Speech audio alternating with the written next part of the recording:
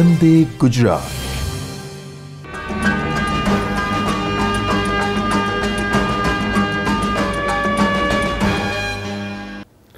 નમસ્કાર મિત્રો. ગુજરાત રાજ્ય માધ્યમિક શિક્ષણ બોર્ડ અને સ્ટુડિયો બાયસેકના માધ્યમથી ધોરણ બાર જીવવિજ્ઞાન વિષય અંતર્ગત પ્રકરણ નંબર સોળ પર્યાવરણીય સમસ્યાના ભાગ બેને લઈને હું આપની સમક્ષ જોશી રાજીવ બીજા ભાગની હું ચર્ચા કરવા માટે ઉપસ્થિત થયો છું.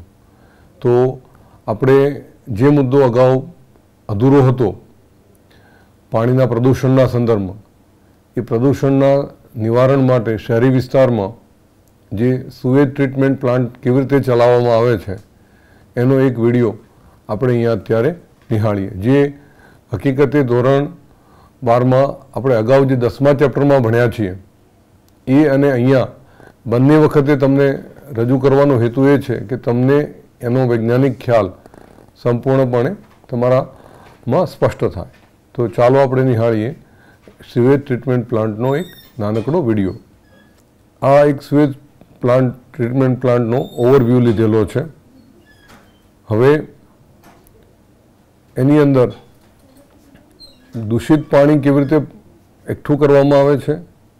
અને કયા કયા ક્ષેત્રમાંથી એને પસાર કરવામાં આવે છે? જે આપણે હવે અહીંયા નિહાળીશું.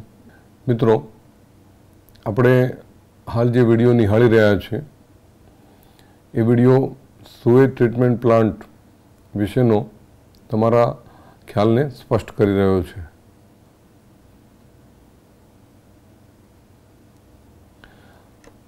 અહીંયા જુઓ, આપણામાં ઘરોમાં જે શૌચાલયમાં જે પાણી વહે છે, એ વાહિત મળ જે છે, એ અલગ અલગ ઘરો, મકાનો, ફ્લેટ્સ, શાળા, કોલેજો, એમાંથી એકઠું થઈને ગટરને પાઇપલાઇન મારફતે એ એના કલેક્શન સેન્ટરમાં જઈ રહ્યું છે.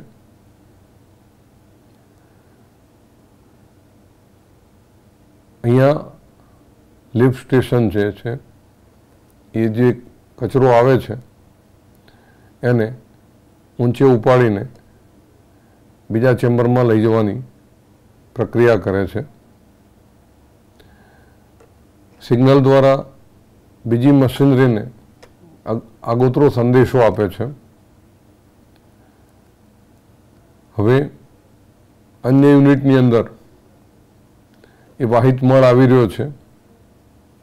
એની સમ, એનો ખ્યાલ આવે છે. આ એક આખો એરિયાનો પ્લાન છે.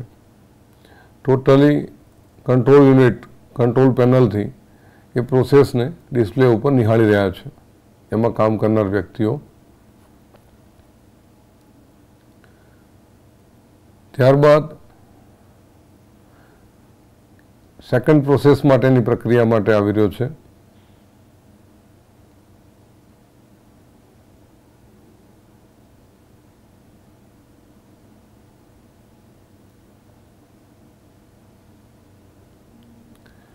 અહીંયા કન્વેનર બેલ્ટ દેખાય છે તમને.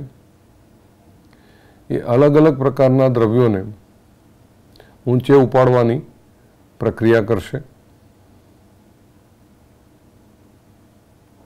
અને બિનઉપયોગી જે દ્રવ્યો છે એને અલગ કલેક્શન સેન્ટરમાં કલેક્ટ કરશે અને ફરી એને કન્વેનર બેલ્ટ ઉપરથી આગળ મોકલવામાં આવે છે. આ વિવિધ પ્રકારના પગથિયા સરકતી સીડી જેવી રચના છે. આ ગ્રીટ ક્લાસિફાયર છે.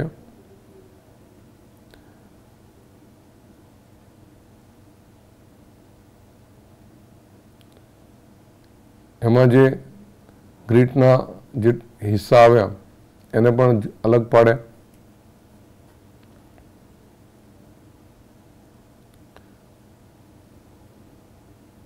પ્રાઇમરી ક્લેરિફાયર છે.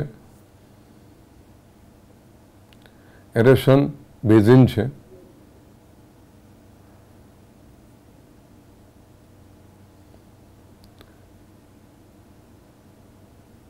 પ્રક્રિયામાં બદલાવ આવે છે પર્સન્ટેજમાં તમે જોઈ શકો છો. બ્લોઅર બિલ્ડિંગ છે.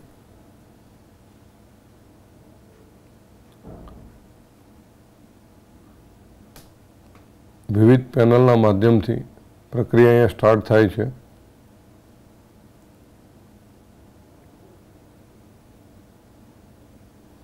સંપૂર્ણ શુદ્ધિકરણ માટેનું ફાઇનલ ક્લેરિફિકેશનમાં આવે છે.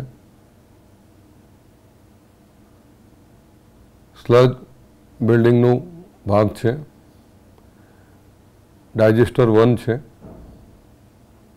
તાપમાનમાં બદલાવ લાવી શકો છો તમે. આખા પ્લાન્ટમાં કેવી રીતે પ્રોસેસ ચાલી રહી છે, એનું ડિજિટલ મીટર દ્વારા એનું મોનિટરિંગ થઈ રહ્યું છે. આ સોલિડ ડિવોટરિંગ બિલ્ડિંગ છે.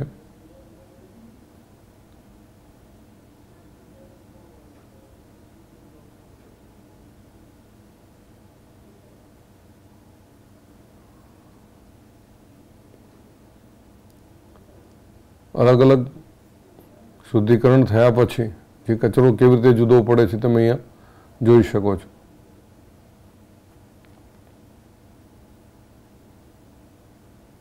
ટોટલી પ્લાન્ટ ઓટોમેટિક છે.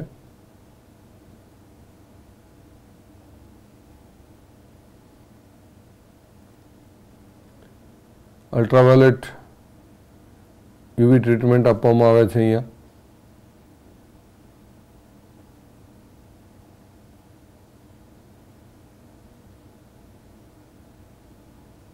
અને ત્યારબાદ એને જે તે જળાશયોની અંદર મુક્ત કરી દેવામાં આવે છે.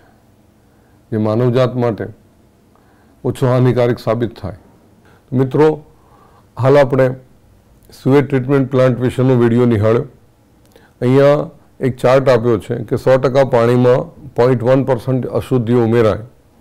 આ અશુદ્ધિઓ કઈ કઈ હોઈ શકે? તો પાણીમાં તરતી અશુદ્ધિઓ છે, ખાસ કરીને રેતી છે, કાદવ છે, માટી છે, કલીલમય ઘટકો છે, જે મળ છે, જે અંદર તરતા હોય, બેક્ટેરિયા છે, કાપડ છે કાગળના તાંતણા છે, અથવા પાણીમાં દ્રાવ્ય અશુદ્ધિઓ છે. ઘણી વખતે અંદર પોષક દ્રવ્યો પણ ભળેલા હોય છે. ઘન પદાર્થોને દૂર કરવા પ્રમાણમાં સરળ છે, પરંતુ ઓગળેલા ક્ષારો, જેવા કે નાઇટ્રેસ, ફોસ્ફેટ તથા અન્ય પોષક પદાર્થો ઝેરી ધાતુઓ આયનો અને કાર્બનિક સંયોજનોને દૂર કરવા મુશ્કેલ છે. ઘરેલું વાહિત મળમાં મુખ્યત્વે જૈવિક રીતે વિઘટનક્ષમ કાર્બનિક પદાર્થોનો સમાવેશ થાય છે, કે જેનું વિઘટન આપણે સરળતાથી કરી શકીએ છીએ, જે મોટાભાગે બેક્ટેરિયા અને અન્ય સૂક્ષ્મ જીવાણુને આભારી છે, કે જેઓ આ કાર્બનિક પદાર્થોનો આધાર તરીકે ઉપયોગ કરીને બહુગુણિત થઈ શકે છે. અને તેથી આ વાહિત મળના કેટલાક ઘટકોનો ઉપયોગ કરે છે. હવે પ્રશ્ન એ છે કે બેક્ટેરિયા ફાયદા કરતાં પણ અહીંયા સાબિત થાય છે અને વધુ પડતું બેક્ટેરિયાનો વ્યાપ વધે તો ક્યારેક નુકસાન કરતા પાણીજન્ય રોગો પણ આના કારણે ફેલાતા હોય છે. બાયોકેમિકલ ઓક્સિજન ડિમાન્ડ, જેને બીઓડી તરીકે ઓળખીએ છીએ, જૈવ રાસાયણિક ઓક્સિજન આવશ્યકતાના માપન દ્વારા વાહિત મળના ગંદા પાણીમાં જીવ વિઘટનીય કાર્બનિક દ્રવ્યની માત્રાનો અંદાજ લગાવવાનું શક્ય છે. કે ભાઈ કોઈ પણ પાણી છે, એમાં કેટલું ઓક્સિજનનો વપરાશ થશે, એ હવે આપણે મીટરો દ્વારા જાણી શકતા હોઈએ છીએ. તમે કેવી રીતે સમજાવી શકો? સામાન્ય તમને કોઈ ક્વેશ્ચન પૂછે, તો બીઓડીનું મૂલ્ય અને સીઓડીનું મૂલ્ય તમારે જાણવું હોય, તો પહેલાં તો એક લોંગ પ્રોસેસ આવતી હતી. પણ વર્તમાન સમયમાં તો હવે એવું છે કે ડિજિટલ મીટર આવ્યા છે, એટલે કોઈ પણ પાણીમાં બીઓડી અને કેમિકલ ઓક્સિજન ડિમાન્ડ સીઓડીનું પ્રમાણ આપણે સહેલાઈથી તરત જ માપતા હોય માપી શકતા હોઈએ છીએ. અહીંયા એક આકૃતિ બતાવી છે, એક નદીમાં વાહિત મળના નિકાલની નોંધ માટેની વાત છે. તો તમે ઉપરની લાઇનમાં જુઓ, તો માછલીઓનું મરવું અને સ્વચ્છ જલજીવોનું અદૃશ્ય થયું એવો, એવું એક લખાણ લખેલું છે. તો ત્યાં ડાર્ક રિજિયન છે, મતલબ એ પ્રદૂષિત પાણી છે. અને એને પેરેલલ એરો મારીને તમે જુઓ છો, સ્વચ્છ જલજીવોનું પુનઃ દ્રશ્યમાન થવું. મતલબ પાણીની અંદર અશુદ્ધિનું પ્રમાણ ઘટી ગયું. અહીંયા બે અલગ અલગ કલરના આલેખ ગ્રાફ દોરેલા છે. સાંદ્રતાના સંદર્ભમાં, ઓગળેલા ઓક્સિજનના સંદર્ભમાં વાહિતમળનું વિસર્જન અને પ્રવાહની દિશા. તો એક શરૂઆતમાં ઊંચો કરવ બતાવે છે અને ક્રમિક એનું ઘટતું પ્રમાણ છે. એકમાં નીચું છે અને પછી ક્રમિક રીતે એનું વધતું પ્રમાણ છે. તો કેટલીક નદીઓમાં મહત્ત્વપૂર્ણ લાક્ષણિકતાઓ પર વાહિત મળ વિસર્જનની અસર માટેનો આ એક ચાર્ટ છે. સંકલિત એટલે કે પાણી ભેગું કરતા જે જળાશયોમાં કાર્બનિક દ્રવ્યોના જૈવિક વિઘટનમાં સંકળાયેલા સૂક્ષ્મજીવો ઘણી માત્રામાં ઓક્સિજનનો ઉપભોગ કરે છે અને પરિણામ સ્વરૂપ વાહિત મળના વિસર્જન સ્થળે પણ અનુપ્રવાહિત એટલે કે નીચેની તરફના પ્રવાહિત પાણીમાં ઓગળેલા ઓક્સિજનની માત્રામાં તીવ્ર ઘટાડો થાય. તમને એક અહીંયા સમજાવું કે સામાન્ય રીતે કોઈ તળાવ હોય તો એની ઉપરની સપાટી ઉપર ઓક્સિજન વધારે પડતો ઓગળેલો હોય. આપણે એવું માનીએ છીએ કે ભાઈ તળાવના કિનારા ઉપર હલેસા આવે, ભરતી અને ઓટ જેવી પરિસ્થિતિ થાય. પણ એ પાણી ચક્રીય રીતે ઉપર અને નીચે પણ થતું હોય. જ્યારે કોઈ પણ સમુદ્રનું કે સરોવરનું પાણી જે છે, તળાવનું પાણી છે, એ ઉપરથી ગરમ થાય, સૂર્યનો તડકો પડે. એટલે સપાટી ઉપરનું જે પાણી છે, એ કુદરતી પ્રક્રિયા છે કે ઓક્સિજન લઈને તળિયાના ભાગમાં જશે. અને તળિયેમાં રહેલા ખનિજ દ્રવ્યો જે છે, ઉપરની જે તરતી ફ્લોટર વનસ્પતિઓ છે, એના ઉપયોગ માટે કુદરતે આ ઘટનાક્રમ ગોઠવ્યો છે. પણ આપણે શું કરીએ છીએ? કુદરતી પ્રક્રિયાને વિક્ષેપિત કરીએ છીએ. એટલે કે ઉપરની સપાટી ઉપર આપણે એટલો બધો કચરો અને વાહિત મળ નાખ્યો કે એનો સડો પેદા થયો. એટલે બેક્ટેરિયા જે છે, એનો વ્યાપ વધ્યો. હવે એ ઓક્સિજન ઉપરની સપાટીનો ઓછો થઈ ગયો, એટલે વધુ ઓક્સિજન માટે નીચે તરફ ઉતરશે અને વાહિત મળ પણ નીચે બેસવાનો પ્રયાસ કરશે.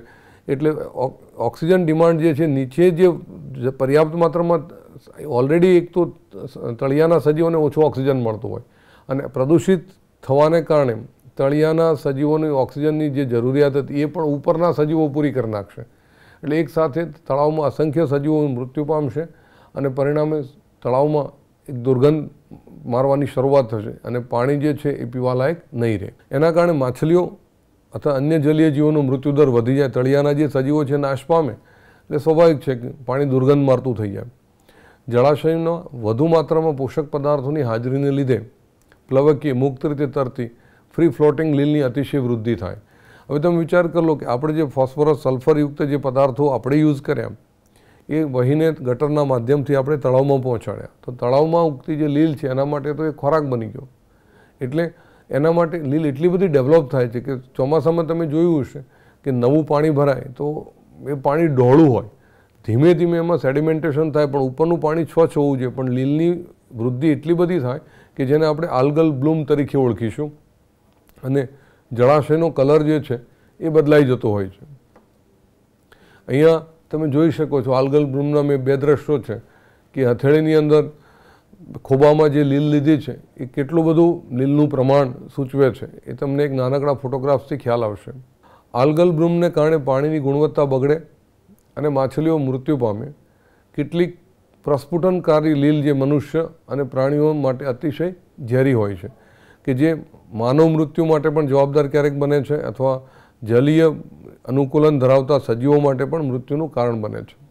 તમે જળાશયોમાં ખૂબ જ આકર્ષક આકારની તરતી વનસ્પતિઓ પર મળી આવતા આછા જાંબુડિયા રંગના સુંદર પુષ્પો જોયા હશે. મિત્રો, કોઈ શહેર એવું નહીં હોય કે ના ગંદા વસવાટના, જે પાણીના વસવાની અંદર આ પ્રકારના પુષ્પોવાળી વનસ્પતિ નહીં તમને જોવા મળતી હોય. તમને નવાઈ લાગશે કે આ વનસ્પતિઓ તેમના સુંદર પુષ્પો માટે એક સમયે ભારતમાં લાવવામાં આવી હતી. જેમ આપણે કમળ, સિંગોડા, પોયણા ઉછેરીએ છીએ સ્વચ્છ જળમાં. તો એ હેતુસર એક્વેટિક પ્લાન્ટ તરીકે એને લાવવામાં આવેલો. તેમની અતિશય વૃદ્ધિના કારણે આપણા જળમાર્ગોમાં અવરોધ ઊભો થવાથી પાયમાલી સર્જાણી.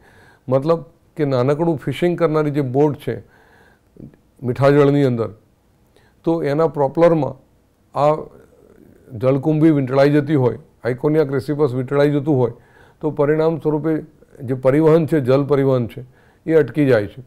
અને આજના સમયમાં સમગ્ર ભારતમાંથી એને દૂર કરવી એ લગભગ નામુમકિન છે, એવું કહી શકાય એવી પરિસ્થિતિમાં એનો વ્યાપ વધ્યો છે. તેઓને, તેમને દૂર કરવાની આપણી ક્ષમતા ખૂબ વધારે જ પછી ઝડપથી વૃદ્ધિ પામે છે. એટલે આપણે જેટલું એને દૂર કરવાનો પ્રયાસ કરીએ છીએ, એટલું એની બમણા વેગથી વધ્યા જ કરે છે. તે વનસ્પતિને જલકુંભી અથવા તો વોટર હાઇન્સિત કહેવામાં આવે છે. વિશ્વની સૌથી વધારે સમસ્યારૂપ એ જલીય નિંદણ છે. તેને ટેરર ઓફ બેંગાલ તરીકે ઓળખવામાં આવે છે. ટેરર મતલબ ત્રાસવાદ જે છે, તો આ વનસ્પતિ દ્વારા ફેલાતો એક પ્રકારનો ત્રાસવાદ જ છે, કારણ કે માનવ જીવન માટે મોટી સમસ્યા પેદા કરી રહ્યું છે. તમે જોઈ શકો છો કે આ એક સ્વચ્છ પાણીનું સરોવર કે તળાવ હશે ભૂતકાળની અંદર, પણ આજે એની સપાટી ઉપર એટલો બધો વ્યાપ વધ્યો છે. તો એક નાનકડો પીકમાં એના ફોટોગ્રાફ્સ છે, જો પુષ્પો કેટલા ધ્યાનાકર્ષક લાગે છે તમને. આ જે જલકુંભી છે, અથવા તો એને વોટર હાઇન્સિસ કહેવામાં આવે છે, તેઓ સુપોષી જળાશયોમાં વિપુલ પ્રમાણમાં વૃદ્ધિ કરે છે અને તે જળાશયોના નિવસન તંત્રની ગતિશીલતામાં મિત્રો અસંતુલન ઊભું કરતું જોવા મળે છે. ખાસ કરીને આપણા ઘરોની સાથે દવાખાનાઓમાંથી વાહિતમણ ઘણા અનિચ્છનીય રોગકારક સૂક્ષ્મજીવોનો સમાવેશ થવાની શક્યતાઓ છે. કારણ કે દવાખાનામાં દાખલ થનારા જે પેશન્ટ છે, એના શરીરની અંદર પણ સૂક્ષ્મજીવોની તો હાજરી હોવાની જ અને ઉચિત સારવાર વગર તેને પાણીમાં નિકાલ કરીને ગંભીર રોગો આપણે સર્જતા હોય છે. દાખલા તરીકે મરડો છે, અતિસાર છે, ડાયરિયા છે, ટાઇફોઇડ છે, કમળો છે, કોલેરા છે. આ બધા પાણીજન્ય જે રોગો છે એ શહેરી વિસ્તારમાં સૌથી વધારે ઉનાળાની સિઝનમાં જ્યારે પાણીની ખેંચ વર્તાતી હોય ત્યારે આ રોગોનું પ્રમાણ લગભગ સવિશેષ એ જ સમયે વધતું હોય છે. ટાઇફોઇડ અને કોલેરાના સૂક્ષ્મજીવોનો આ આકૃતિ છે. ઘરેલું વાહિત મળની જેમ પેટ્રોલિયમ, કાગળ ઉત્પાદન, ધાતુ નિષ્કર્ષણ અને પ્રક્રિયાઓ કરનારા જે અથવા તો રાસાયણિક બનાવટો વગેરે જેવા ઉદ્યોગોમાં નકામા પાણીના ઘણીવાર ઝેરી પદાર્થો, ખાસ કરીને ભારે ધાતુઓ છે, જે પાંચ ગ્રામ પ્રતિ સેમી ક્યુબ તરીકે આપણે ઓળખીએ ને વધારે ઘનતા ધરાવતા તત્વો જેવો કે પારો છે, કેડમિયમ છે, તાંબુ છે, સીસુ છે વગેરે એમાં વિવિધ કાર્બનિક દ્રવ્યો છે. તમને મિનામાટા ડિઝીઝ જાપાનમાં જે પરિસ્થિતિ સર્જાયું હતું, એ એના વિશે તમને અગાઉ નીચલા ધોરણમાં પણ તમે એનો અભ્યાસ સારી રીતે કરી ચૂક્યા હશો. ઉદ્યોગોના નકામા પાણીમાં રહેલા કેટલાક ઝેરી પદાર્થો જે છે, એ જલીય આહાર શૃંખલામાં જૈવિક વિશાલનનો હિસ્સો બને છે, એટલે કે બાયોમેગ્નિફિકેશન કરતાં જોવા મળે છે. હવે જૈવિક વિશાલન કોને કહેવાય? તો એનો અર્થ એ છે કે અનુક્રમિત પોષક સ્તરોએ ઝેરીલા પદાર્થોની સાંદ્રતામાં ક્રમિક સ્ટેપ બાય સ્ટેપ વધારો થવો આ ઘટનાને કારણે સજીવોમાં ઝેરી પદાર્થો એકત્રિત થવાની તેમનું ચયાપચય કે નિકાલ ઉત્સર્જન થઈ શકતું નથી.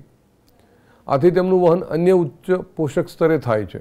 એટલે જ્યાં નાશ પામવો જોઈએ કે નિકાલ થઈ જવો જોઈએ, જે તે સમયે ન થતાં એનું સતત ગુણન થાય છે.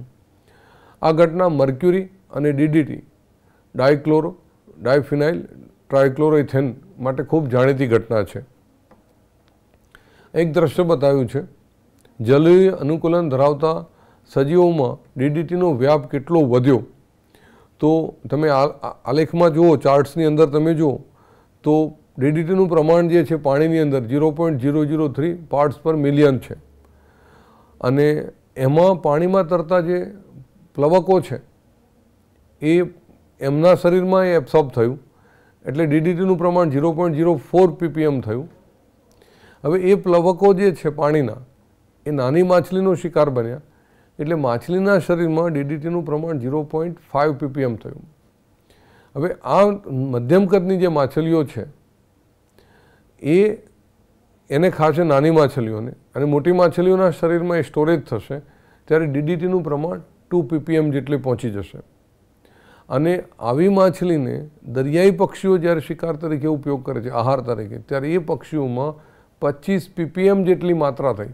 તમે જો પાણીની અંદર ડીડીટીનું પ્રમાણ zero point zero zero three PPM હતું.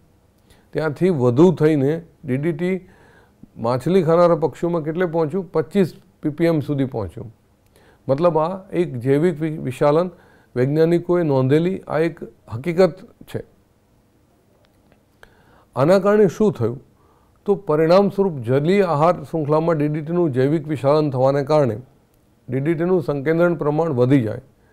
અને કહી શકાય કે જો પાણીમાં સંકેન્દ્રણ zero point zero zero three PPB parts per billion હોતી શરૂ થાય, તો માછલી ખાનારા જે પક્ષીઓ જે છે, એમાં વધીને પચીસ મિલિયન પાર્ટ્સ પર મિલિયન સુધી પહોંચે છે. ડીડીટીની ઊંચી સાંદ્રતા પક્ષીઓના કેલ્શિયમના ચયાપચયને ખલલ પહોંચાડે છે. મિત્રો, હિમાલયની અંદર આ એક થયેલો સર્વે છે. ગુજરાત સહિતના છ રાજ્યોમાં ભૂતકાળમાં ડીડીટીનો છંટકાવ સરકાર દ્વારા કરવામાં આવતો હતો. અત્યારે તમારા ઘરની અંદર મચ્છરનો ઉપદ્રવ થાય છે, તો તમે પહેલાં કોઇલ સળગાવતા હતા, પછી મેટનો ઉપયોગ કરતા થયા, અને હાલ પેલું ફાસ્ટર સળગાવે છે પણ તમે જોયું છે કે એકાદ કલાક મચ્છર બેભાન રહે છે, પણ એ એની સામે રેઝિસ્ટન્ટ થઈને ફરી ઉઠતા તો થાય જ છે.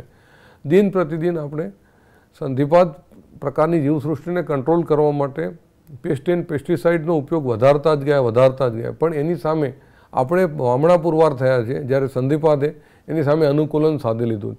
તો હિમાલયન રિજિયનના જે પક્ષીઓ છે, એ જ્યારે ઈંડા મૂકે છે, ત્યારે એના કોચલા જે છે, એ થોડો સમય સેવે છે અને ફાટી જાય છે. પરિણામ સ્વરૂપ ઈંડામાં ગર્ભનો વિકાસ પૂરતા પ્રમાણમાં થતો નથી. હવે જ્યારે ગર્ભ વિકાસ પૂરતો ન થાય અને ઈંડા ફાટી જાય, પક્ષી ઉપર બેસે એના વજનથી, તો જે કેલ્શિયમ કાર્બોનેટની જે સ્ટ્રેન્થ મળવી જોઈએ ઈંડાના મજબૂતી માટે, એ મળી નહીં. એટલે પક્ષીઓ લુપ્ત થવાની શરૂઆત થઈ ગઈ.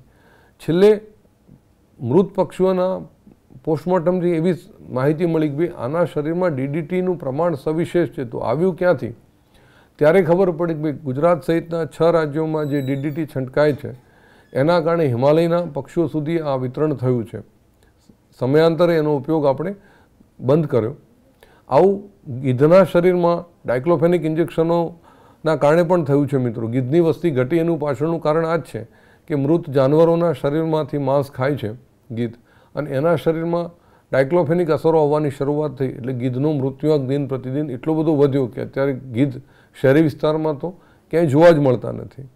અમારું કડી એક જ એવું શહેર છે કે જેમાં શહેરી વિસ્તાર હોવા છતાં ગીધનું અસ્તિત્વ છે અને લગભગ એંસીથી નેવું જેટલા ગીધનું અસ્તિત્વ ત્યાં જોવા મળે છે. બાકી ગ્રામ્ય વિસ્તારો સિવાય ગુજરાતના કોઈ શહેરમાં અત્યારે ગીધ તમને જોવા નહીં મળે.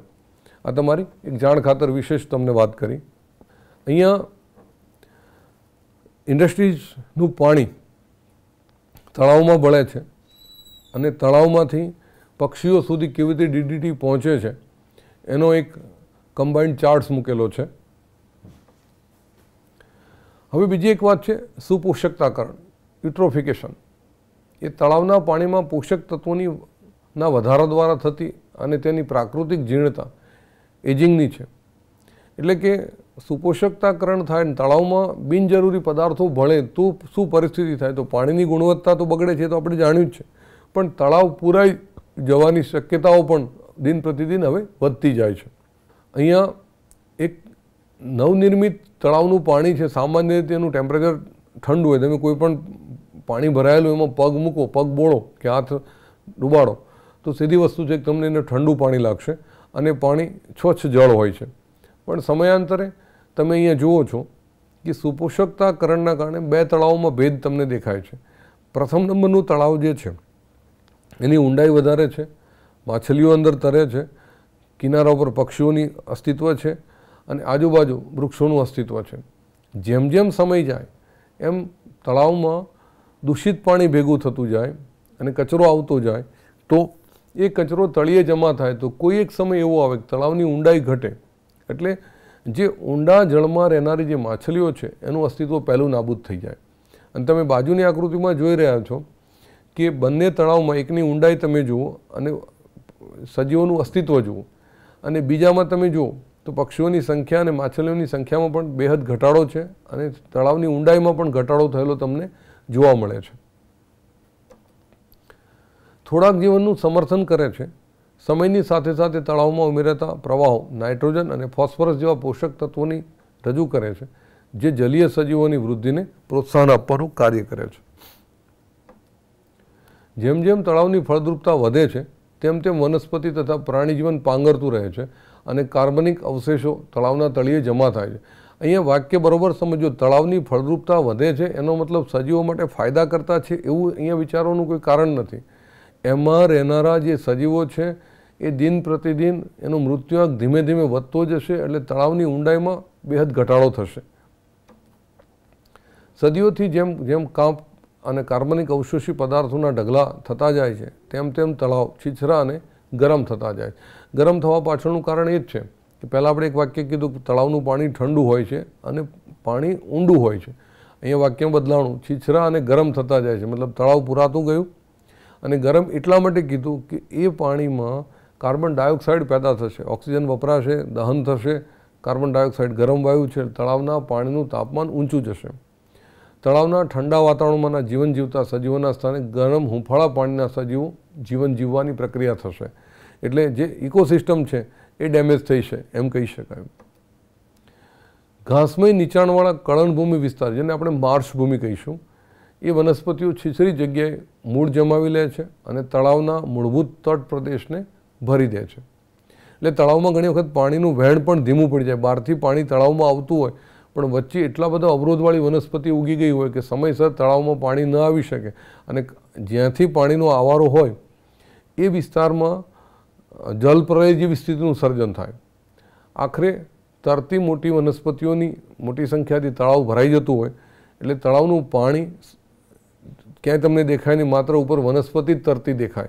અંદર રહેનારા જીવો છે, એ પણ અસુવિધા અનુભવતા થઈ જાય. ભેજવાળી પોચી જમીન, જેને આપણે પંખ ભૂમિ કહીએ છીએ, બોગ કહીએ છીએ, છેવટે ભૂમિમાં પરિવર્તિત થઈ જાય. હંમેશા તળાવની ભૂમિ છે, એ પોચી હોય, ભેજવાળી હોય, કાદવ કીચડવાળી હોય, સહેલાઈથી ખોદી શકાય તેવી હોય. પણ છેવટે ભૂમિ સમયાંતરે તળાવ સુકાતું જાય એટલે ભૂમિ કડક બનતી જાય. આબોહવા, તળાવનું કદ અને અન્ય પરિબળોને આધારે તળાવના આ કુદરતી જીર્ણતામાં ખરેખર હજારો વર્ષો લાગી શકતા હોય છે. પણ આપણે આધુનિકતાના કારણે તળાવોનું આયુષ્ય ઘટાડી દીધું છે, એમ કહીએ તો ખોટું નથી.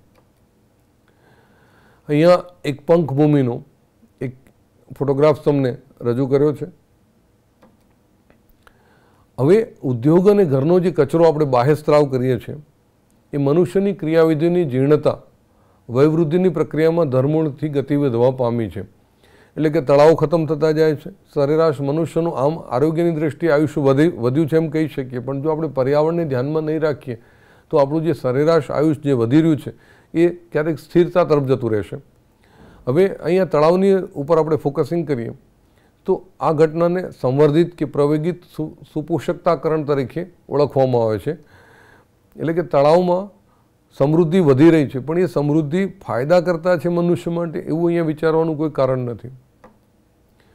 ગત શતાબ્દી દરમિયાન પૃથ્વી પરના ઘણા ભાગોમાં તળાવ વાહિતમળ અને કૃષિ વિષયક ઔદ્યોગિક નકામા કચરાથી સુપોષિત થયા છે. એટલે કે તળાવમાં બધું ઘસડાઈને આવે, એ ઇન્ડસ્ટ્રી દ્વારા નાખવામાં આવ્યું હોય કે ખેડૂતો દ્વારા ખેતી કર્યા પછી છોડી દેવાયેલા અવશેષો હોય અથવા માનવ વિસ્તારોમાંથી તળાવમાં ઢસડાઈને આવેલું ચીજવસ્તુ હોય. એમાં ખાસ કરીને એની મુખ્ય અશુદ્ધિઓ છે નાઇટ્રેસ અને ફોસ્ફેટ છે, જે વનસ્પતિ માટે પોષક તત્વોનું કામ કરે છે. મિત્રો, હાલના વર્તમાન સમયમાં આપણે જે ડિટર્જન્ટ અને સાબુનું જે પ્રમાણ વધ્યું વધાર્યું છે, એની પાછળનું આ મેઇન ફેક્ટર્સ ગણીએ તો ઓછું નથી. દિવસમાં આપણે વારંવાર હેન્ડવોશ કરીએ છીએ, વારંવાર સ્નાન કરીએ છીએ. ઘણી વખત તો દિવસમાં એક કરતાં વધારે વખત લોકો સ્નાન કરે છે અને જે હાઈરાઇઝ બિલ્ડિંગમાં રહે છે અથવા તો જે વિશાળ બંગલોઝ ધરાવે છે, એવા લોકો બાથટબનો ઉપયોગ કરે છે. પ્રત્યેક સેશન પ્રત્યેક સેશને સો લીટર પાણી એ વ્યક્તિ યુઝ કરે છે. એટલે ફોર્મ પેદા કરે, પછી પાછું સ્નાન કરે અને એ પ્રક્રિયા તળાવોને ભરવા માટે ઓછી નથી. પીવાનું પાણી ઇનકેસ તમારા વિસ્તારમાં ત્રીસ મિનિટ કે એક કલાક આવતું હશે. પણ હું એવું કહી શકું કે તમારા શહેરની ગટરો ચોવીસ કલાક વહેતી હશે. તો માથાદીઠ પાણીની જે આવક છે, એના કરતાં આપણે જાવકના સ્ત્રોત વધારે ઊભા કરીએ છીએ.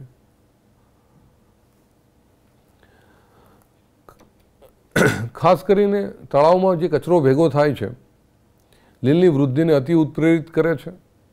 જેના કારણે તે જગ્યાએ જોવું ન ગમે તેવું લીલું આચ્છાદન થાય છે અને દુર્ગંધ મારવાની શરૂઆત કરે છે.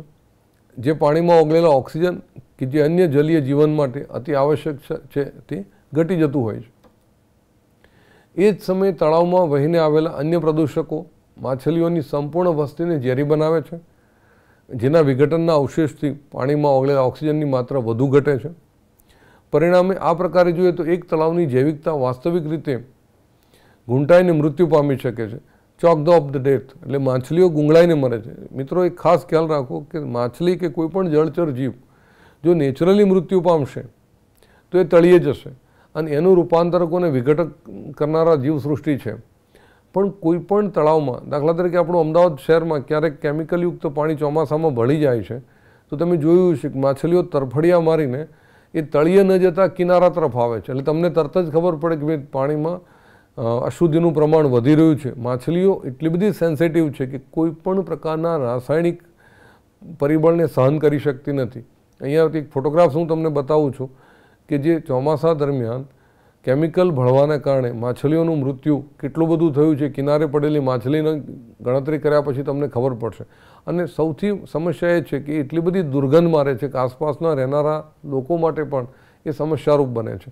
અને અંદર જે રહેનારા જે જીવો છે, એના માટે પણ સમસ્યાનું કારણ બની શકે છે. વીજ ઉત્પાદિત એકમો એટલે કે ઉષ્ણ વિદ્યુત એકમોને બહાર વહી જતું ગરમ ઉષ્ણ નકામું પાણી કે બીજા મહત્ત્વપૂર્ણ કક્ષાના પ્રદૂષકોની રચના કરે છે. ઉષ્ણ નકામા પાણીમાં ઊંચા તાપમાન સામે સંવેદનશીલ સજીવો જીવિત રહી શકતા નથી.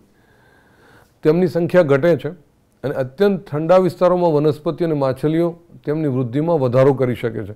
મિત્રો, અહીંયા આ વાક્યનો તમને જો તમારે રૂબરૂ જોવું હોય, તો તમે અમદાવાદ સુભાષ બ્રિજ તરફ જાઓ તો સાબરમતી વિસ્તારમાંથી. તો બાજુમાં પાવર હાઉસ છે. ત્યાંથી ઉપરથી નીચે પટકાતું પાણી તમે જોતા હશો. તો સરેરાશ કોઈ પણ યુનિટની અંદર, ઇન્ડસ્ટ્રીની અંદર પાણી, બોઇલરમાં પાણી જે વપરાતું હોય, એ સિત્તેર એંસી ડિગ્રી ટેમ્પરેચર ધરાવતું હોય.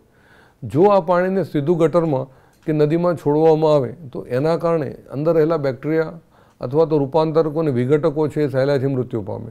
સિત્તેર એંસી ડિગ્રીનું તાપમાનવાળું પાણી શહેરમાંથી સીધું ગટરમાં કે નદીમાં છોડી શકાય નહીં. એને વારંવાર ઉપરથી નીચે પટકવું પડે છે, અમુક ઊંચાઈ ઉપરથી. એટલે એમાં હવા ભળે, ઓક્સિજન ભળે અને સિત્તેર ડિગ્રીમાંથી પચાસ ડિગ્રી ફરી પાછું પાણી અપલિફ્ટ કરીને ડાઉન કરો તમે. એટલે એનું તાપમાન ઘટીને ચાલીસ, સાડત્રીસ, એમ કરતાં કરતાં સાદા પાણી સાથે ભળી શકે એટલું તાપમાન આવે. પછી જે તમે એને જો પાણીમાં ગટરના પાણીમાં છોડશો તો એ ગરમ પાણી હાનિકારક નહીં બને. અન્યથા જે આપણા ઉપયોગી જે સૂક્ષ્મજીવો છે એ ગરમ પાણીના કારણે નાશ પામશે. અહીંયા સ્થાનિક સ્વદેશી વસ્તી સમૂહ છે, ફ્લોરા અને ફોના. એને આપણે નુકસાન પહોંચાડ્યા પછી જ તમે જોશો કે અહીંયા તરફડિયા મારીને માછલી જે છે, એ છેક કિનારે આવી ગયેલી છે. જે વાસ્તવમાં ખરેખર એનું જીવન જળ છે, પણ આપણી અવિચારી પ્રવૃત્તિના કારણે આવા નિર્દોષ જીવો મોતને ભેટે છે. અને આ ઘટના આપણા દેશમાં વારંવાર થાય છે. એ ખરેખર યોગ્ય નથી. અને હવે આપણે નવું વિચારીએ છીએ, સંકલિત નકામા પાણીના ઉપચારના એક કિસ્સાનું અધ્યયન. અહીંયા તમે જોઈ રહ્યા છો કે ખૂબ જ ગંદુ પાણી એક જળાશય તરફ આવી રહ્યું છે અને ઇન્ડસ્ટ્રીયલ વેસ્ટ વોટર ટ્રીટમેન્ટ બે હજાર તેરનું આ દ્રશ્ય છે. વહિતમળ સહિત નકામા પાણીનો ઉપચાર સંકલિત ઢબથી કૃત્રિમ અને કુદરતી બંને પ્રક્રિયાઓને ભેગી કરીને તેનો ઉપયોગ કરવાથી કરી શકાતા હોય. આવા પ્રકારનો ઉદાહરણનો પ્રયાસ. મિત્રો, કેલિફોર્નિયાની ઉત્તર તટ પર આવેલું અર્કટા શહેરમાં કરવામાં આવ્યો. અહીંયા તમે જુઓ છો કે અર્કટા શહેરની અંદર એ લોકોએ બહુ સરસ આયોજન કર્યું. અગાઉ આપણે જે તમને સમજાવ્યું કે એસટીટીપી પ્લાન્ટથી દરેક શહેર પોતાના પાણીનું શુદ્ધિકરણ કરતું હોય છે, તો ત્યાં પણ આ જ પ્રક્રિયા થતી હતી. પણ ત્યાંની જે યુનિવર્સિટી છે અંબોલ્ટ યુનિવર્સિટી છે. એના પ્રોફેસરોએ અને ત્યાંના સ્થાનિક જાગૃત નાગરિકોએ એક નવો આયામ ઊભો કર્યો. અને એને નિહાળીએ આપણે તો હમ્બોલ્ટ સ્ટેટ યુનિવર્સિટીના સહયોગથી જે જૈવવૈજ્ઞાનિકોએ છે, એ લોકોએ પ્રાકૃતિક તંત્ર અંતર્ગત સંકલિત પાણી, જે નકામા પાણીના ઉપચારની એક પ્રક્રિયા તૈયાર કરી. એણે જળ ઉપચારના કાર્યને બે ચરણમાં વહેંચી દીધું.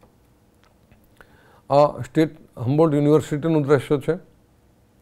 અહીંયા તમે જે પરંપરાગત વેસ્ટ વોટર ટ્રીટમેન્ટ પ્લાન્ટ છે, તો one two three four five six છ સ્ટેજ છે. પહેલાંમાં કલેક્શન સેન્ટર છે. બીજામાં જે ગોળાશમાં આવે, કચરો આવે, ઘન કચરો આવે જે છે, પ્લાસ્ટિક છે, માટી છે, તરતા, રબરના હિસ્સા છે, ટાયરો છે, એ બધું આઇસોલેટેડ કરવામાં આવે. પછી એરોબિક અને એનરોબિક બેક્ટેરિયાની જે પ્રોસેસ આપણે અગાઉ ભણ્યા છીએ તે કરવામાં આવે. બેક્ટેરિયલ ગ્રોથને ખાળવા માટે ક્લોરિન પ્રોસેસ કરવામાં આવે અને ક્લોરિન પ્રોસેસ કર્યા પછી એ સામાન્ય જળની અંદર એને ઉમેરવામાં આવે. તો શુદ્ધિકરણ કંઈક અંશે ખૂબ સારું કહી શકાય તેવું છે, પણ એ ખર્ચાળ છે. અહીંયા કુદરત જ પર્યાવરણને કેવી રીતે પ્રદૂષણમાંથી દૂર કરે છે અને એના સંદર્ભમાં જોઈએ તો પરંપરાગત અવસાદન છે. એમાં મેં હાલ તમને કીધું એમ નિશ્ચંદન અને ક્લોરિન દ્વારા ઉપચાર કરો. પછીના ચરણ પછી ખતરનાક પ્રદૂષકો, ઓગળેલી ભારે ધાતુઓ છે, એને દૂર કરો અને એ પછી એને વાતાવરણમાં છૂટું મૂકો. હવે અહીંયા બીજી એક પ્રક્રિયા છે, તમે જુઓ. ઘર અને કારખાનાઓમાંથી આવતું જે પ્રદૂષિત પાણી છે, એના ટ્રીટમેન્ટ પ્લાન્ટની વાત છે. તો કેવી રીતે ઇન્ડસ્ટ્રીઝવાળા પાણી છોડે છે અને માનવ વસ્તીમાંથી કેવી રીતે પાણી આવે છે અને એને કઈ કઈ પ્રોસેસથી દૂર કરવામાં આ પરંપરાગત આપણે હાલ જે વાપરીએ છીએ એ પ્રવૃત્તિઓ માટેનું આ દ્રશ્ય છે. પણ અહીંયા એમણે આર્કટા માર્સવાળાએ શું કર્યું? તો આ કળણભૂમિમાં એક અભયારણ્યની રચના કરી એમણે જૈવ વિવિધતાના ઉચ્ચ સ્તરોએ માછલી, પ્રાણીઓ અને પક્ષીઓના સ્વરૂપના નિવાસ કરવાની જે પ્રક્રિયા છે, અભયારણ્ય છે, અભય વત્તા અરણ્ય, એટલે કોઈપણ સજીવો કોઈપણ પ્રકારનો ડર રાખ્યા વગર સહેલાઈથી જીવી શકે એની સાદી વ્યાખ્યા એટલે અભયારણ્ય. તો આર્કટા માર્સમાં શું કરવામાં આવ્યું? તો અહીંયા તમે જુઓ, આ લોકોએ આશ્ચર્યજનક પરિયોજનાની દેખભાળ અને સુરક્ષા માટે નાગરિકોનો એક સમૂહ ઊભો થયો, જેને ફોન ટૂંકું નામ આપવામાં આવ્યું friends of the Arcata marsh એમણે એક સરસ રીતે આ પ્રદૂષણને ખાળવાનો પ્રયાસ કર્યો. એમણે શું કર્યું? તો આ વૈજ્ઞાનિકોએ લગભગ સાઠ હેક્ટર્સ જેટલી કળણભૂમિ એટલે કે કળણભૂમિનો મતલબ થાય કાદવ કીચડ યુક્ત નીચાણવાળી જમીન, જ્યાં પાણી સહેલાઈથી વહી શકે એમ. છ જેટલા કળણભૂમિ વિસ્તારોની એક શૃંખલા વિકસિત કરી, એટલે એને આઇસોલેટેડ કર્યા. લીલ, ફૂગ લાઇકેન એવા પરંપરાગત સજીવો છે, એનો ઉછેર કરવાનો પ્રયાસ કર્યો. હવે જે છ રિજિયન પાડ્યા, તો એમણે જે પાણીનું વહેણ છે, એ પદ્ધતિસરનું, એકમાંથી બીજા, બીજામાંથી ત્રીજા, ત્રીજામાંથી ચોથા, એમ કરતાં કરતાં પાણીને છેક સુધી લઈ જવાનો પ્રયાસ કર્યો. પરિણામ સ્વરૂપ એ આવ્યો કે આપણે મશીનથી જે પાણીનું શુદ્ધિકરણ કરતા હતા, એમાં ખર્ચ વધતો હતો અને બીજી કેટલીક આડઅસરો પણ વધતી હતી. એની સામે કુદરતી કેટલીક એવી વનસ્પતિઓ છે કે જે આ પ્રદૂષકોને એક્સેપ્ટ કરી લીધા અને પાણીનું આપોઆપ શુદ્ધિકરણ કરવાનો પ્રયાસ કર્યો. અને એ સક્સેસ થયું. અને એ રોલ મોડેલ આજે વિશ્વના ઘણા બધા દેશો સ્વીકારવા માટે રાજી થયા છે. એ લખ્યું છે કે લીલ ફૂગ અને બેક્ટેરિયા ઉછેર્યા, જે પ્રદૂષકોને નિષ્પ્રભાવિત કર્યા, અવશોષિત કરે, પરિપાચિત કરે અને કળણભૂમિમાંથી પસાર થતું પાણી સમયાંતરે શુદ્ધ થઈ જાય છે. આજ દિન સુધી આપણે એ ધારણા રહી કે નકામા પદાર્થોને દૂર કરવા માટે પાણીની જરૂરિયાત છે, એટલે કે વહિત મળના નિર્માણ માટે. મળોત્સર્જન જે છે એને દૂર ધકેલવા માટે આપણે પાણીનો બેફામ ઉપયોગ કરીએ છીએ. પરંતુ જો માનવીના નકામા પદાર્થો ઉત્સર્ગ પદાર્થો એટલે કે મળમૂત્રના નિકાલ માટે જો પાણી જરૂરી ન હોય તો શું થાય? તમે એવું અનુમાન લગાવી શકો કે સંડાસ બાથરૂમની અંદર વગર પાણી આ પ્રક્રિયા થઈ શકે? તો જો તમે અનુમાન એવું લગાવી શકો છો કે જો શૌચાલયને એક વ્યક્તિ ફ્લશ ન કરે, તો તેના દ્વારા પાણીની કેટલી બચત થાય? અથવા તો બીજું એ વિચારી શકે કે જો તમે ફ્લશ નથી કરતા, તો એ ગંદકીનું સામ્રાજ્ય ઊભું થાય છે. પણ ખરેખર આ એક વાસ્તવિકતા છે. કે નિવસન તંત્રની સ્વચ્છતા એ શુષ્ક ખાતરના શૌચાલયનો ઉપયોગ કરીને માનવ ઉત્સર્ગિત મળમૂત્રના નિકાલ માટે એક ટકાઉ તંત્ર છે. સામાન્ય રીતે હાલ સરકાર દ્વારા ટીવીમાં અથવા જો જાહેર ખબરો દ્વારા લોકોને જાગૃત કરવામાં આવે છે. મિત્રો, આપણે પહેલાં શૌચાલયની ટેન્કમાંથી ફ્લશ ઓન કરતા તો એક સાથે નંબર્સ ઓફ લીટર પાણી વહી જતું હતું. આજે ડબલ ફ્લશ આધુનિક મોડર્ન ટોયલેટ્સ ઊભા કરવામાં આવે. જે સિંગલ ફ્લશ જરૂરિયાત મુજબનું પાણી છોડે છે અને ડબલ ફ્લશ એના કરતાં વધુ જરૂરિયાત મુજબના પાણીને છોડે છે.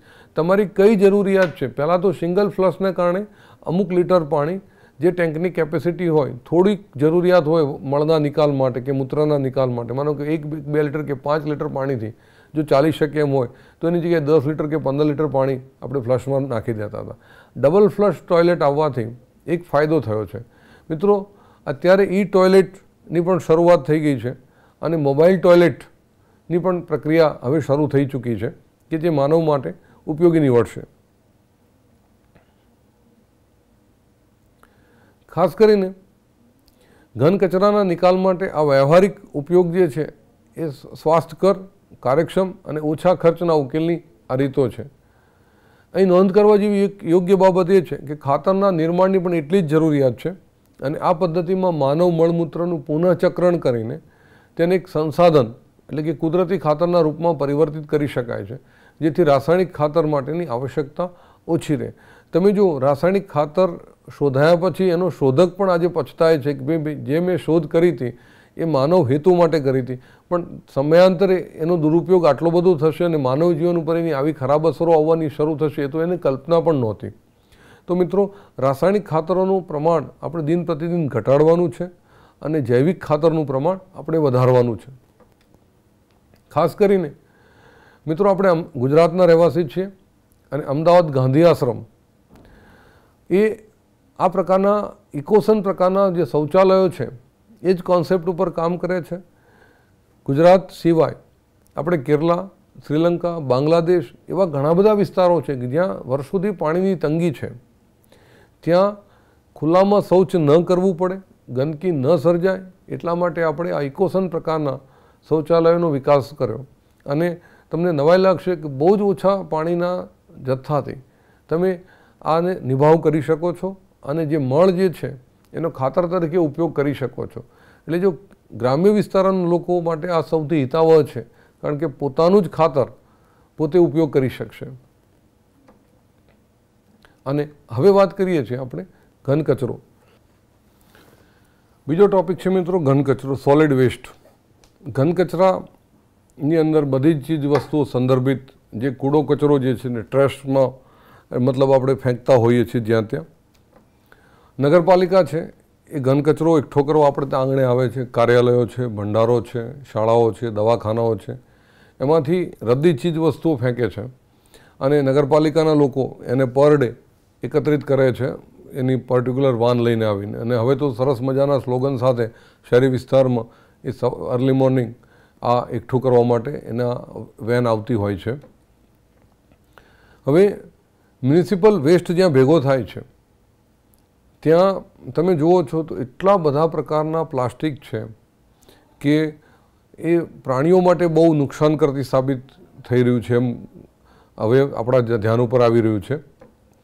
ખાસ કરીને નગરપાલિકાના ઘન કચરામાં શું હોય તો કાગળ હોય, ખાદ્ય સામગ્રી હોય, એઠવાડ હોય, પ્લાસ્ટિક હોય, કાચ હોય ધાતુઓ હોય, રબર છે, ચામડું છે, વસ્ત્રો છે, આ બધું જ આપણે મ્યુનિસિપાલિટીનું જે જાહેર કન્ટેનર છે એમાં પધરાવીએ છીએ. ખાસ કરીને જો એને સળગાવીએ તો કચરાના કદમાં ઘટાડો થાય જેવું આપણે માનતા હતા. પણ સમયાંતરે ઘન કચરાનું પ્રદૂષણ ઓછું થાય તો એને પ્લાસ્ટિકને સળગાવશો તો હવાનું પ્રદૂષણ પાછું શરૂ થશે. જ્યાં ત્યાં જે તે વસ્તુઓ ફેંકી રાખશો એટલે ખુલ્લા વાતાવરણમાં ફેંકો છો તો ત્યાં ઉંદર અને માખીઓ માટેના પ્રજનનનું એક ઉત્તમ સ્થળ બની જાય છે. મિત્રો, મારી તમને એક નમ્ર અરજ છે કે જ્યારે તમે ખાદ્ય સામગ્રી ખાઓ છો, આપણે શરૂઆતમાં પ્લાસ્ટિક પેકિંગમાં મટીરિયલ્સ લાવતા હતા અને ખાદ્ય સામગ્રી ખાઈ નાખ્યા પછી એ પ્લાસ્ટિકની કોથળીમાં મૂકીને એના ઉપર ગાંઠ મારીને આપણે ડસ્ટબિનમાં નાખી દેતા હતા. હવે જ્યારે ગાય, ભેંસ જેવા જાનવરો જ્યારે એ ડસ્ટબિનની મુલાકાતે જાય છે, ત્યારે એને ખોરાકની તો તીવ્રતા છે જ.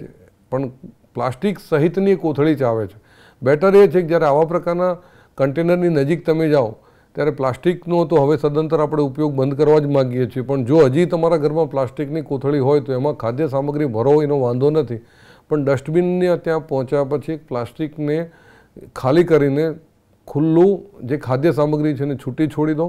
અને પ્લાસ્ટિક જે છે બીજું કોઈ અન્ય કન્ટેનર હોય, એમાં તમે મૂકવાની ટેવ પાડશો, તો જે મૂંગા અબોલ પશુઓ છે એનું જે મૃત્યુઆંક છે એ આપણે ઘટાડી શકીશું. ગાયના શરીરમાંથી છથી આઠ કિલો પ્લાસ્ટિક નીકળવાની ઘટનાઓ રોજબરોજ આપણે ન્યૂઝપેપરમાં કે ટીવીમાં જોતા હોઈએ છીએ. તો મારી આપને નમ્ર અરજ છે કે પ્લાસ્ટિક બેગની અંદર ક્યારેય એઠવાડ કે કોઈપણ પ્રકારની ખાદ્ય સામગ્રી પેક કરીને જાહેર રસ્તા ઉપર ફેંકશો નહીં. સેનેટરી લેન્ડફિલ્સ છે. તમે કોઈપણ કચરાને સળગાવો છો તો ધીમે ધીમે પ્રક્રિયા શું થાય છે? કે એનું ઘનીકરણ થાય અને ઘન કચરો જે છે, એ પહેલાં આપણે શું કરતા હતા કે શહેરથી બહાર જે દૂર ઊંડા ખાડાઓ હતા, એમાં એ કચરો ઠાલવી દેતા હતા અને ધીમે ધીમે આપણે માટી પુરાણ કરી દેતા હતા. તો હવે ત્યાં કન્સ્ટ્રક્શન થાય છે તો સ્વાભાવિક છે કે તો નેચરલી જમીન તો રહી નથી. પુરાણ કરેલી જમીન છે અને એ કોઈ ફક્ત માટી જ નથી, એમાં પ્લાસ્ટિક છે, કાગળ છે, એટલે સમયાંતરે બાંધકામ નબળું પડે છે.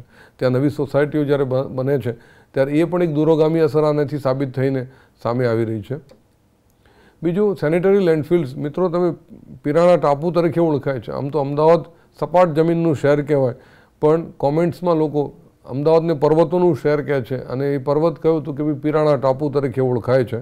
તમે એ સાઇટ્સ તમે જુઓ છો, પણ સરકાર આ વર્ષે નગરપાલિકા મક્કમ છે કે એ પિરાણા ટાપુને કોઈપણ રીતે નાબૂદ આપણે કરવો જ છે. અને એની પ્રક્રિયા સરકારશ્રીના અને મહાનગરપાલિકાના સનિષ્ઠ પ્રયત્નોથી વર્તમાન સમયમાં શરૂ થઈ ગઈ છે. એ ધન્યવાદને પાત્ર છે. શું તમે કોઈ નગર કે શહેરોમાં પસાર થાવ છો? ત્યારે એની નજીકનું લેન્ડફિલ સાઇટ તમે જાણો છો? તો હા, તમે જે વિસ્તારમાં સૌથી વધારે દુર્ગંધ મારતી હોય ત્યાં જઈને ઊભા રહેશો તો સમજવાનું કે તમારું લેન્ડફિલ સ્થળ જ છે.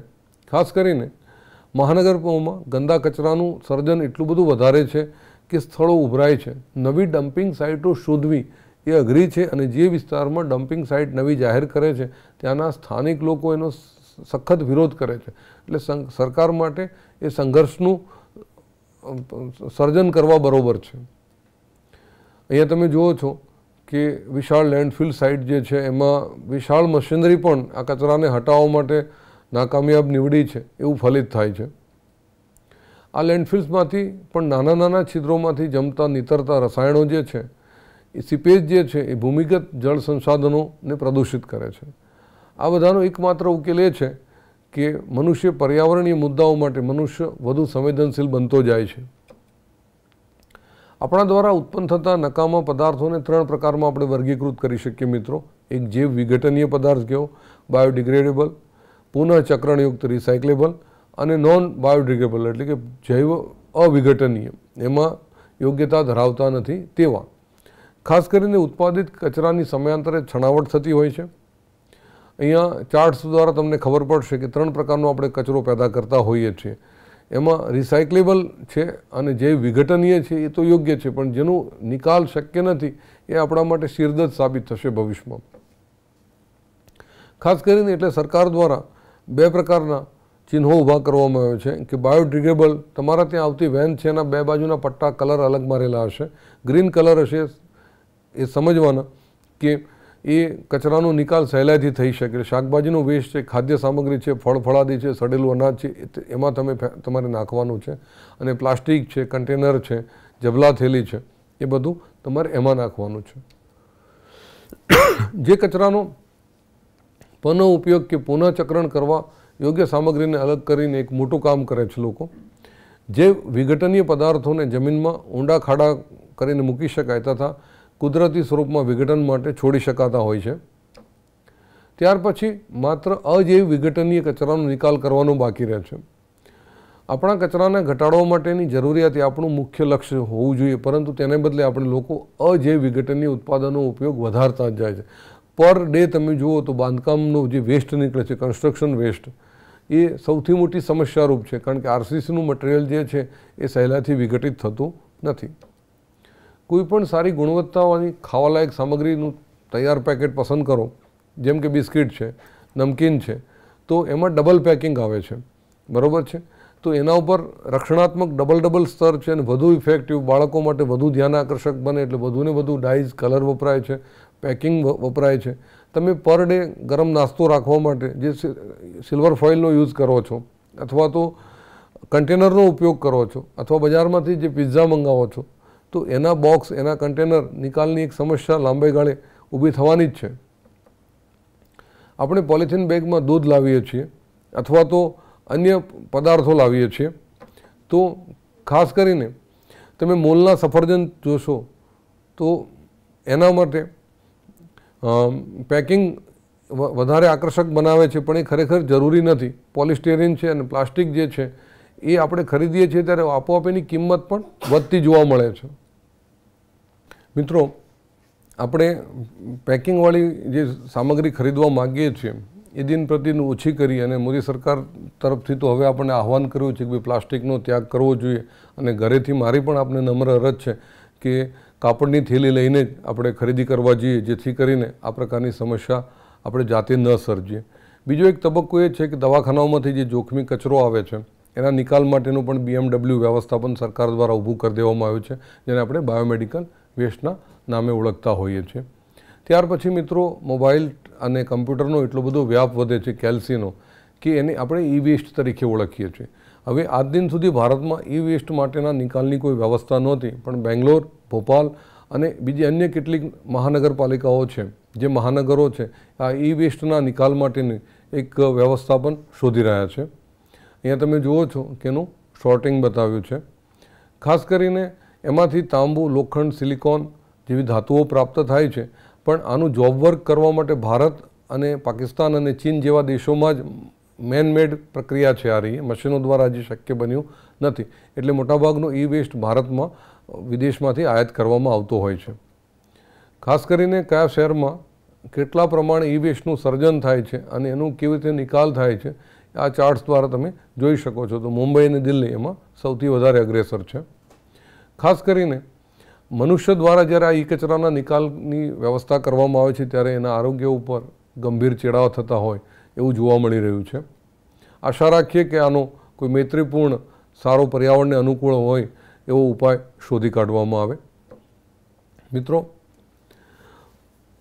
ભાગ બેમાં માનવ જીવન ઉપર જે અસરો આવે છે પર્યાવરણની સમસ્યાનો, એનો બીજો ભાગ અહીંયા આપણે પૂર્ણ કરીએ છીએ. મિત્રો, આ ચેપ્ટરના બીજા એપિસોડમાં આપણે કેટલાક એનસીઆરટી એક્ઝામ્પલરના પ્રશ્નોની ચર્ચા કરવા જઈ રહ્યા છે જેથી કરીને તમને એમસીક્યુનો જે બેઝ આપણે તૈયાર કરવાનો છે, નીટ અને ગુજકેટની પરીક્ષાને ધ્યાનમાં રાખીને. તો અહીંયા હું તમારી સમક્ષ જેમ અગાઉના એપિસોડમાં પ્રશ્નો રજૂ કર્યા હતા, એમ કેટલાક પ્રશ્નો રજૂ કરું છું. સમય મર્યાદાને ધ્યાનમાં લેવી પડે છે અમારે. આમ તો ઘણા બધા પ્રશ્નોનું ભાથું લઈને અમે સાથે આવતા હોઈએ છીએ. પણ સમયને ધ્યાનમાં રાખીને થોડાક પ્રશ્નો આજે લઈ શકાશે. નીચેના દ્રવ્યો પૈકી કયા દ્રવ્યના જૈવ વિઘટન દરમિયાન લાંબામાં લાંબો સમય લેવામાં આવે છે? મિત્રો, સમજવા જેવી વાત છે, નીચેના દ્રવ્યો પૈકી કયા દ્રવ્યના જૈવ વિઘટન માટે લાંબામાં લાંબો સમય લેવામાં આવે છે? નંબર એક છે, કપાસ અથવા રૂ જેને કહીએ છીએ. બીજું, કાગળ. ત્રીજું અસ્થિ અને ચોથું શણ જૈવિક ઘટકો છે મિત્રો. કાગળ છે તમે જોજો, જમીનમાં દાટો છો, તો બહુ સમય નહીં લે. એ જ રીતે શણ છે, કોથળા છે, જમીનમાં દાટો છો તો ચાર, છ મહિને, આઠ મહિને, બાર મહિના થતાં થતાં એ લગભગ મોટાભાગનું બંધારણ તૂટે છે. રૂના રેસાના સંદર્ભમાં પણ એવું છે. પણ અસ્થિ છે, એ વધારે લાંબો સમય ક્યારેક માગી લે છે. તો એના અનુસંધાનમાં ત્યાર પછીનો બીજો પ્રશ્ન છે. નીચે આપેલ પૈકી કયો એક ઘર અથવા તો મકાનમાં આંતરિક પ્રદૂષણ ઉત્પન્ન કરે છે?